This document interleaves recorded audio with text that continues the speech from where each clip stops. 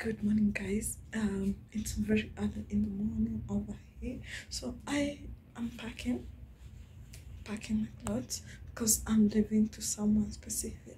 So guys help me pack my clothes because we're going somewhere.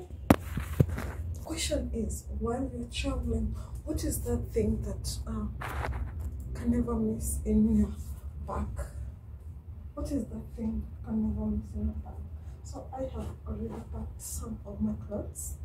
I have already